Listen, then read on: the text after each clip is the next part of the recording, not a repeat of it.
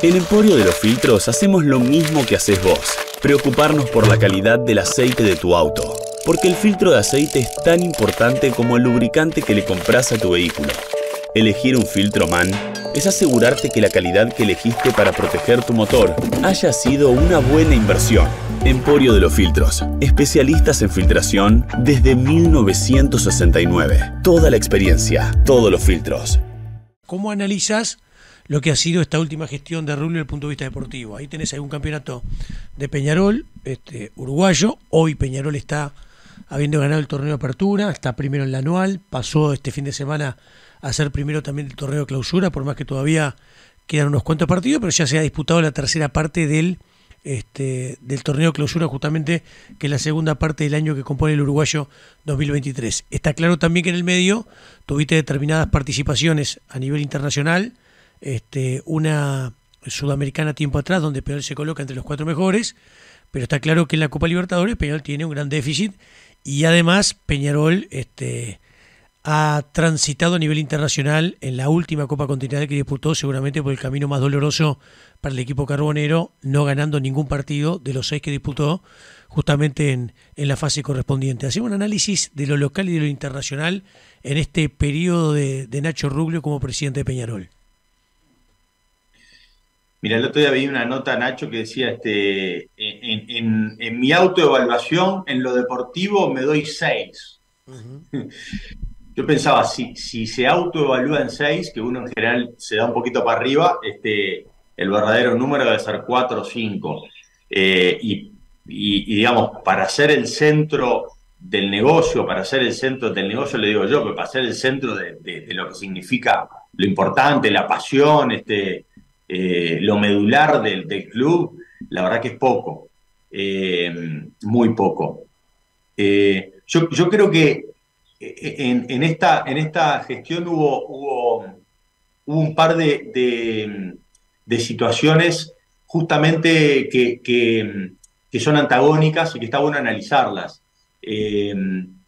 la sudamericana de la Riera tiene un, plantel básicamente recibido o armado este, en su base por, por, la gestión Barrera, por la gestión anterior, pero eh, tiene algo, algo muy bueno que inclusive yo cuando sucedió le escribí a Nacho, este, que fue la, eh, la, el mantener a Mauricio Larriera, a ese cuerpo técnico cuando la cosa venía mal, este, y luego eh, bueno, gana, creo que fue en Cerro Largo, 4 a 1, una cosa así, y nos metemos en, en fase de grupo de, Sudamericana.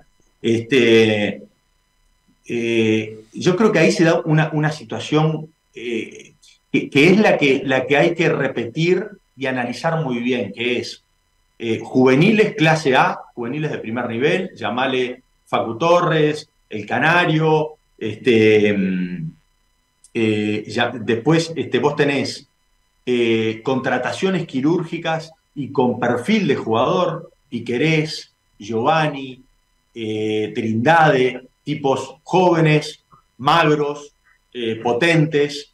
Este, y después tenés el retoque de los veteranos que vienen de Europa, eh, pero con todavía ganas de, profesionalismo, de, alta competencia y con ganas de, ganar. llámale este, Gargano, este, bueno, este, no, me acuerdo, no recuerdo ahora cuál, otro, pero, pero hay que tratar de, de, analizar ese momento, pues era estabilidad en el cuerpo técnico, eh, juveniles clase A, eh, buenas contrataciones y este, veteranos que te dan como el, moño final, ¿no? Este, de, calidad europea. Eh, el problema es que lo que no hay en el club es estabilidad de eso. Eh, vos para competir internacionalmente tenés que mantener una base. Vos, mirá el, River de Gallardo. Este, es, una base de jugadores, se van dos o tres, él retoca con juveniles, con contrataciones quirúrgicas y el equipo continúa. Eso es lo que hay que tratar de lograr en el club, que fue lo que, lo que después se desbarrancó totalmente. Este, y terminamos de tener una participación como esa, que tiene que ver con eso, no es suerte, tiene que ver con, un, con, unas, con buenas contrataciones, un buen armado de plantel, con una estabilidad del cuerpo técnico y demás. Y después eh, tenemos lo del año pasado, que es una catástrofe. Un equipo que no tenía nivel para competir internacionalmente, este, eh, jugadores que no, que no daban la talla, eh, este, caos deportivo, cambios de, técnicos, o sea, este, digamos que, arrancó bien y, y terminó desastrosamente mal. Y la verdad es que para mí, Peñarol es sinónimo de Copa Libertadores. O sea, vos, me preguntás este, cuáles son mis recuerdos. mis recuerdos es mi viejo con la mano, me acuerdo, acá en el cuello, llevándome por la América en esas, aquellas noches de los 80. Este, por supuesto que el quinqueño fue espectacular y demás, pero para mí Peñarol es Copa Libertadores. Llámale hoy, Peñarol es competencia internacional.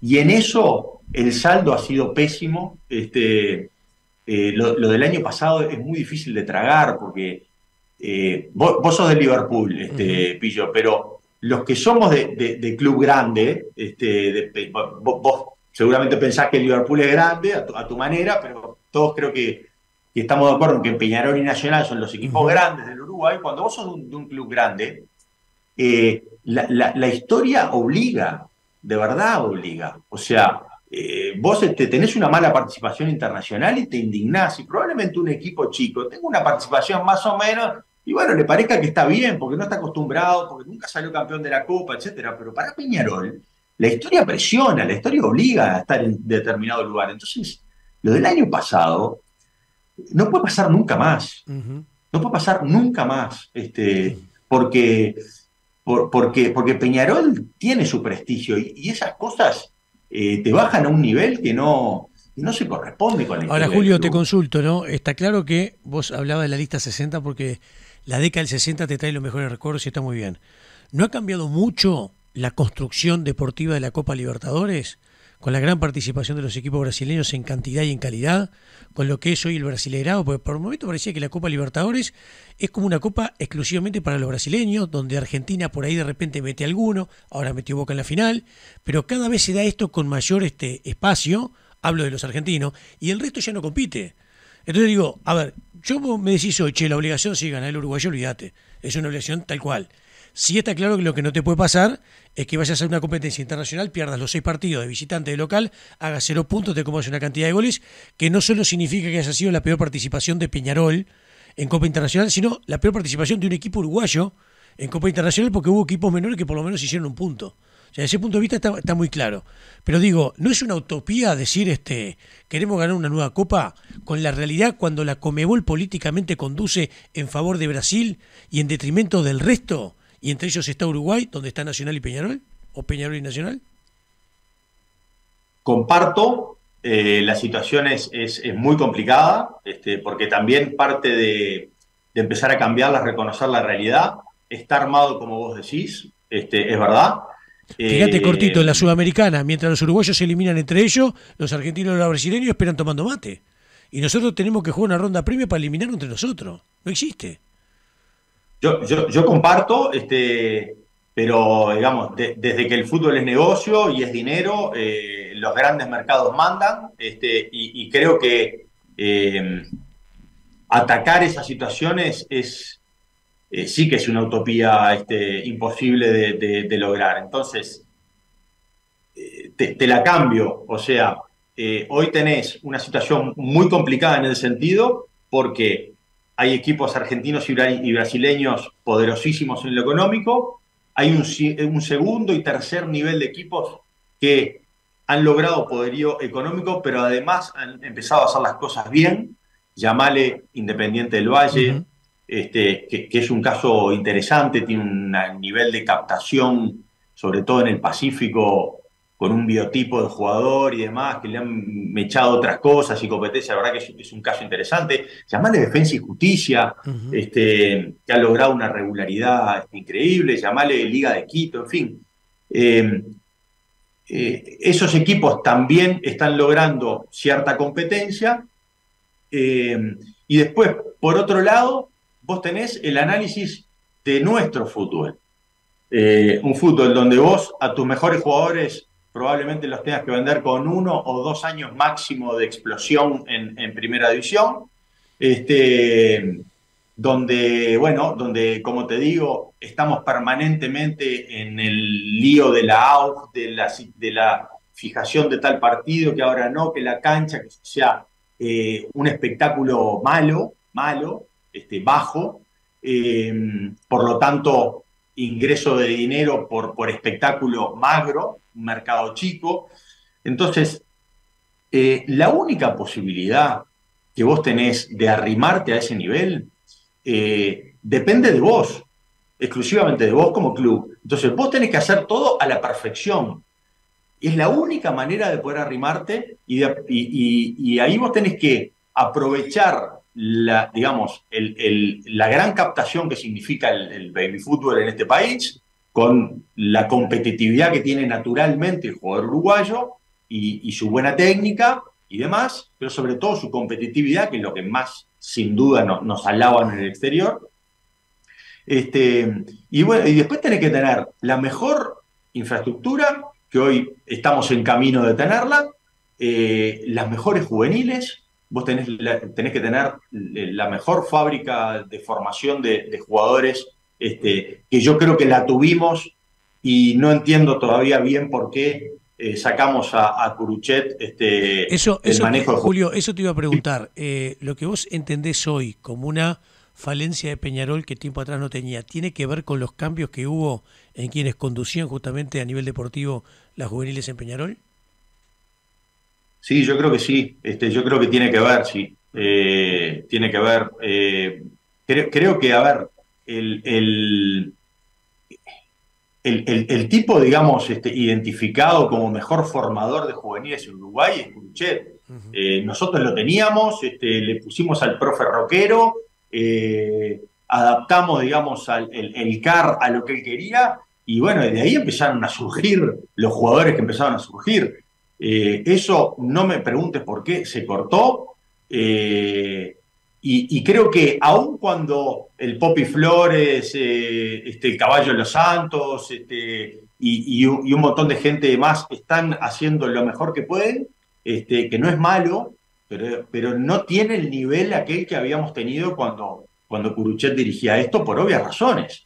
Este, entonces, eh, la mejor coordinación de, de, formativas la tenés que tener eh, y tiene que funcionar como un reloj suizo. Vos tenés que hacer las mejores contrataciones quirúrgicas en la medida de lo que podés, apuntar bien al perfil de jugador y invocarle todo lo que puedas. Este, y después tenés que levantar la mirada, ¿viste? Salir de, este barro y levantar la mirada y tratar de, Es verdad, es una utopía, es una utopía. Eh, es complicado, por supuesto que sí, pero se puede, yo creo que se puede, Pillo, se puede. Si vos haces las cosas bien en lo que a vos te respecta ajustás el club, porque en Peñarol no vas a tener lujos, porque en Uruguay no tenés lujos. Entonces, tiene que ser una, una estructura eficiente eh, y que funcione como un reloj suizo a la perfección para vos poder, y con eso, más el nivel de jugadores que hay, la competitividad que tiene el jugador uruguayo, bueno, vos ahí empatás esa realidad que vos comentás que es, es, así. Y esa no creo que cambie.